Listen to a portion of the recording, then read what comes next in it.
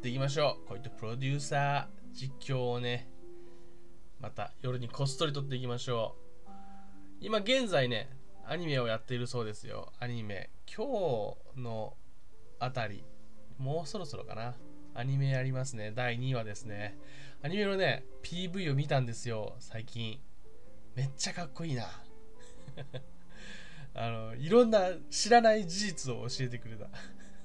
アニメの PV を。1分か2分かばかしの PV 見ただけで知らないことをたくさん知ってしまったこの恋プロについて。悪の組織と戦ってるんですね。知らなかった。ここまでここまですごい長々恋プロの実況やってきたけど全然悪と戦ってるイメージなかった 何を見てたんだ俺は。ということでね、えー、恋プロのあのアプリの方ではこういったあのアニメ放送記念イベントというのがやられてるそうです。限定アニメアイコンフレーム、アニメアニメを記念したアイコンフレームがもらえるらしいです。ということですね。が、まあ、えー、今回やることは、まあ、まずこれだな。携帯の中に履歴として残りまくってる。お 前回の動画見返してみたらさ、めっちゃいい回、自分としてはいい回だったのにさ、音質が悪すぎて、ちょっと泣きそうになった。前の方からあんだけ、あんだけあれ、あんだけあれだったのになんかまだ、なんか来てる。何かの映画を見たいと言っていたな。確か何かの映画。覚えてたんだねで普通じゃない？普通に会話しちゃおう。もうこれやってるだけで実況として成立するよな。これだけで。面白すぎるよ面白すぎるよ、恋プロ。誰かさんがずっとつぶやいていたからな。つぶやいて、ツイッター監視されている。違うか。これはきっと横にいる時にブツブツ言ってんだろうな。忘れようにも忘れられん。先ほど、アンコール上映のチケットを2枚手に入れた。見に行くか。これあれかな。かぐや姫は小倉スタイルみたいなやつかな。見に行くか。アンコール上映。かぐや姫が、かぐや姫じゃったんかいな。かぐや様は、かぐや様は、えー、告らせたいみたいなやつじゃなかったっけ？なんかね、裏工作してチケットを、えー、と、初期の、初期の、あの、あの、郵便ポストに入れるみたいな。見に行くか。うーん、下2つは犬みたいな回答だな。野良犬みたいな回答だな。でも野良犬みたいな回答しかねえな。時間ならいくらでもあるようは、ちょっとこの善を落とすにはふさわしくない。やはり忙しい女アピールを。忙しい中でも時間を作っていくよっていう、そういうところに惹かれると思うんだ。これ以降。無アンコール上映、絶対見なく。ちょっと不穏な空気が流れてる。絶対見なくちゃ。無理やりでも時間を作るよ。仕事に対してもそれくらいの情熱があるといいんだよな。そうすれば、企画案の修正のために苦しい顔をしなくて済む。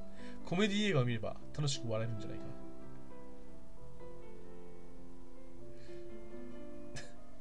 コメディはリラックスできる。俺コメディ映画しか見ないんだよ、映画基本的に。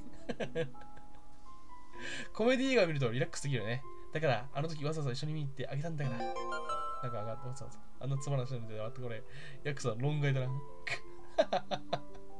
こいつ、なんなんらか脳に障害があるだろう。全然話し合わせる気ない気配ないぞ。これあの女性によってはもう即ここであのあれだろうブロックするだろう。この半分以上悪口やぞこれは。当たりが強すぎる。当たりが強すぎるんじゃないですか。もう恋プロとかここここをここを存分にあのもう舐めるように味わうだけでもう実況として成立してしまうっていう恐ろしさよね。アニメの話もしたいよ。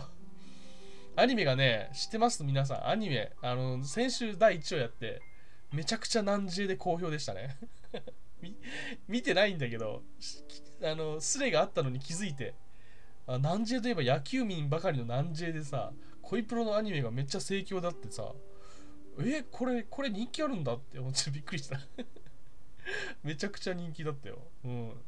なんならアンサングシンデレラよりも人気だったよ ひどい戦いようなアンサングシンデレラのその その夜に恋プロやってた恋プロの方はめっちゃめっちゃ高評価 だからねえっ、ー、とね見た方がいいと思う第2話からねみんな第2話からでも見た方がいいと思う恋プロはねあの面白そうだった本当に PV 見ただけでねはいシモンです次シモンのたまりに溜まってるこのログを読んでいきましょう。上から。5月20日届いてるログから読んでみましょう。ね、LINE が届いてます、通知がね。誰かさん、ずいぶん遅い間、長い間、僕に会いに来てくれてないね。いじけとる理系特有のいじけをしとる。2つ目。また一人でこっそり頑張っているのかなを心配してますね。君が無理をしてると思う。僕は寂しいな。君が僕に面倒をかけに来るのをずっと待ってるから待ってるの。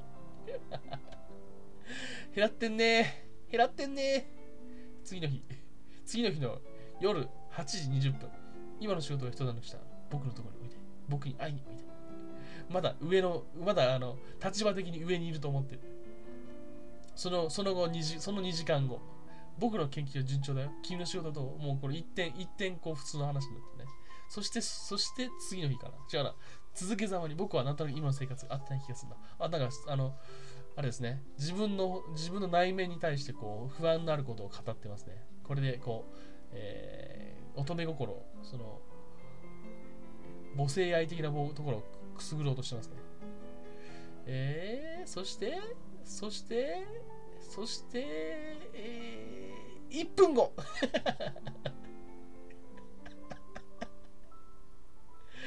1分後にこれを言ったのを後悔して、君が僕の邪魔をしに来ない生活かね。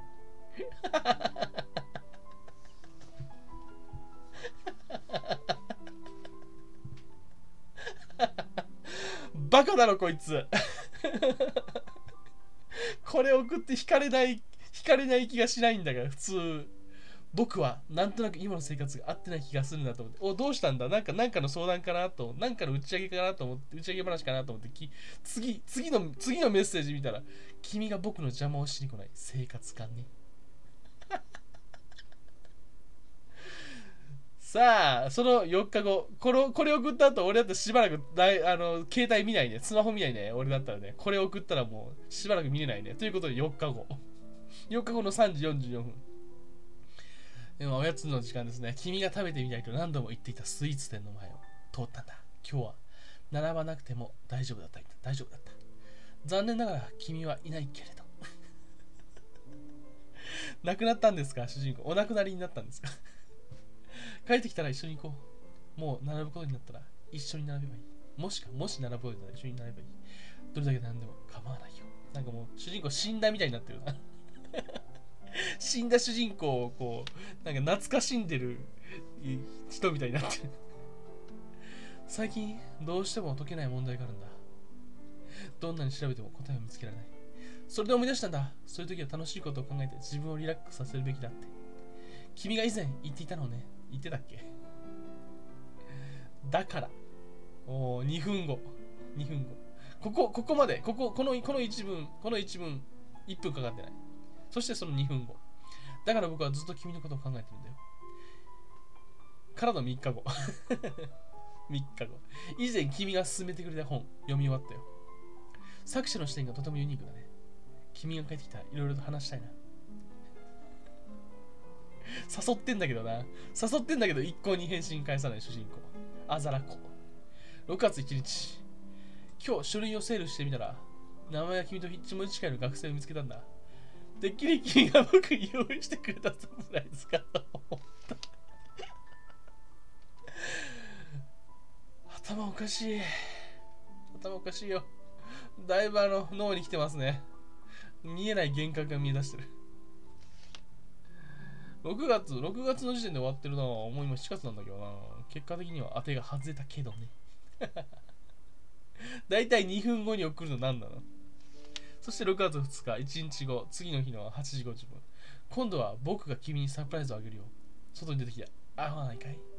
撮影現場の近くにいるんだ。ストーカーになっとるさて、さて、帰ってきたよ。寝てた波に、寝てた波に軽い。寝てたみたいな。この軽さ。いいね。あと2人はまだ放置。まだ放置。次回、次回これをあの紐解いていこうと思う。まあ、この辺はあの動画外で見ます。ストーリーを進めていきます。これだね。光ってるんだね。光ってんね。しばらくすると撮影現場に問題が発生だからこれすごいシリアスなストーリーはこれが展開されると思うんですよ。あ全然関係ないけどこの上の恋とプロデューサーのやつ動きます。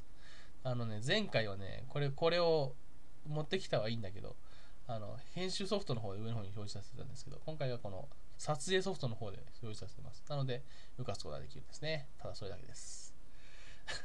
ただそれです。この上がね寂しいのよ。寂しいんだけどこの頭上がね。寂しいんだけど。何も今のところ表示できない。このね恋プロさ縦長だからさスマホの画面だからさ。でもこれを縦のままやるのもなんだかなと思っちゃったりしてね。縦のままの縦のやつを見るのもなんだかなっていう。ってことで。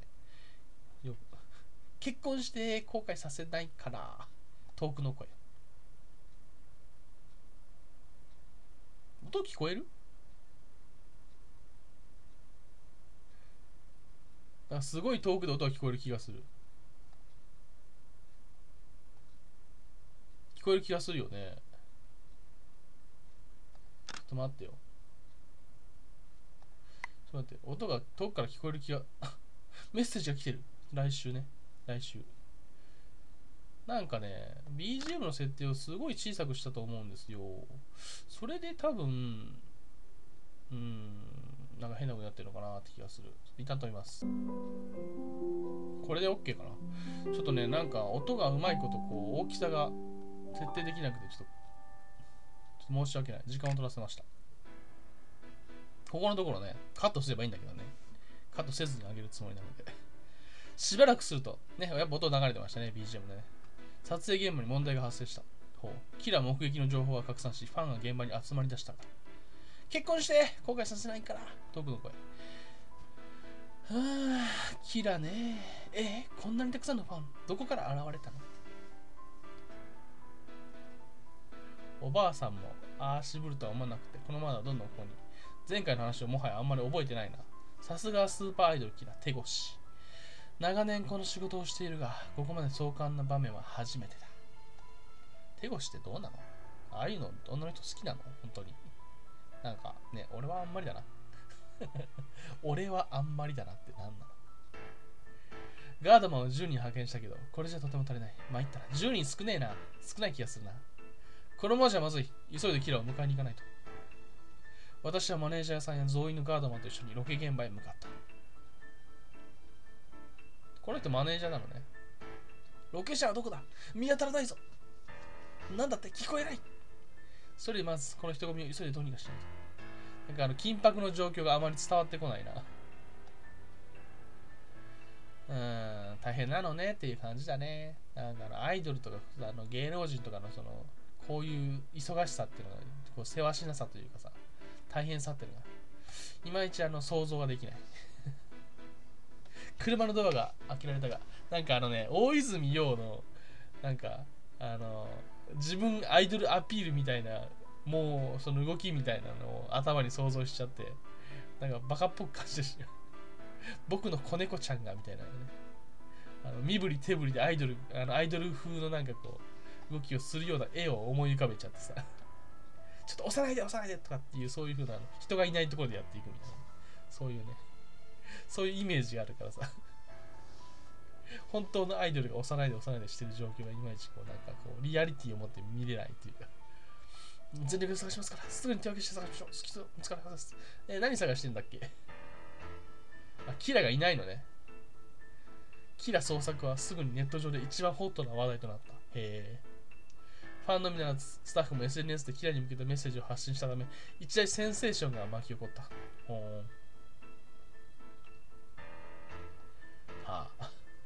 過保護じゃね？男だよ、所詮。どうせよろしくやってんだよ。ファンの女の子とな。よろしくおつまみやってんのよ。人が多い場所はスタッフが手分けして探して。BGM がさ、よかった !BGM を復活させておいてよかった。この軽妙な BGM。おもうその、カフェに行くようなな。広場に来ると熊の着ぐるみで少女がいて、風船とキャンディーを交換していた。現場での騒動とは無縁の平和な風景に、笑みがこぼれそうになったところでハッと気がついた。あの着ぐるみ、スタジオでスタッフが運んでいたものといたものと同じ。まさか。私はこっそり熊の後ろへ回り、その体にくくりつけられていた一番大きな風船をほどいて女の子に手渡した。これと交換してくれる？このクマがこのクマがキラーってわけね。笑い声が聞こえたのだろう。クマは腕を組んでそっぽを向き怒った素振りをした。はあ。私は笑いながらキャンディーをクマに手渡した。キャンディーはあなただよクマさん。こいつ。クマは私の目の前に立つとキャンディーを両手で持って両手で？2個だったのか。うん。そっと着ぐるみの頭の部分を持ち上げるとキラのキラキラキラのキラキラキラ。そこでギャグ必要かな。キラのキラキラした目が見えた。簡単には許さないからな。はあ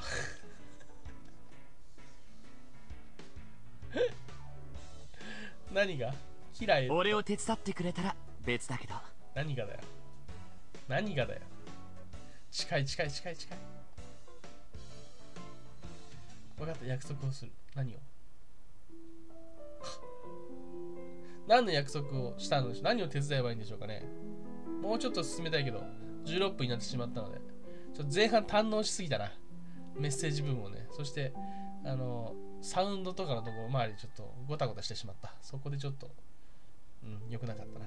じゃあまあ今回ここまで。またね来週ぐらいか。また、えー、恋プロのね放送に合わせて しれっとまた上げると思います。じゃあとりあえず今日はこんなところで。ほなまた。また来週お会いしましょう。